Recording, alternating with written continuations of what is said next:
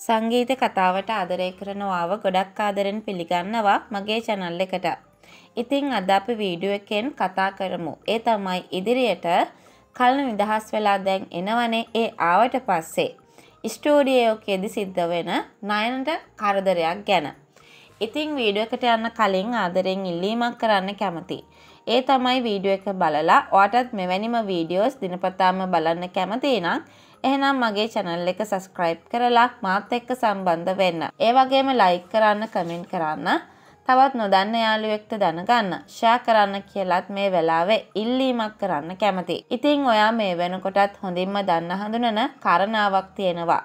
ඒ තමයි නයන මේ වෙලාවේ පොලිසියට ගිහිල්ලා කල්නල බලලා සෙල්ල බලලා ඒ ගොල්ලන්ට වෙන්න ඕනේ මොනවාද කියලා හොයලා බලන්න කිසිම උමනාවක් නැහැ. අනිත් එක තමයි කණ්ඩායමේ අනිත් කට්ටියත් එක්ක එකතු කරගෙන නයන උත්සාහ කරන්නේ මේ වෙලාවේ ප්‍රයෝජන අරගෙන කොහොම හරි සංගීත කණ්ඩායමක් පටන් ගන්න. ඉතින් නයනට හැමදාම ඕන කළේ කල්නව නායකත්වයෙන් අයින් කරලා Tamanට නායකත්වය අරගන්න.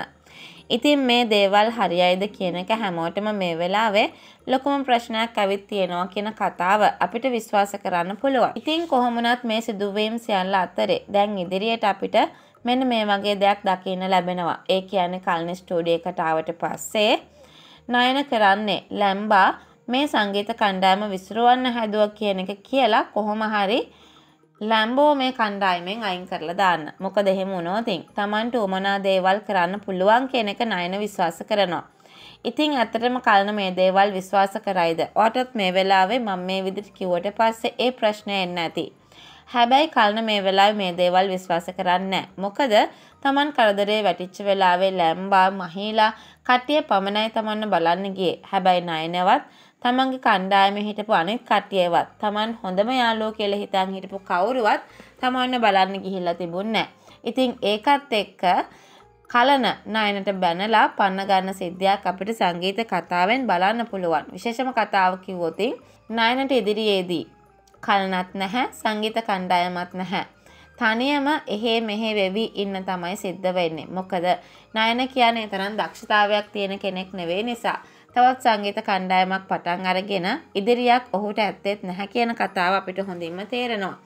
ඉතින් විශේෂම දේ ගත්තොත් කලන ඉදිරියට විශ්වාස කරන්නේ මහීලා ලැම්බල කියන දේවල් විතරයි.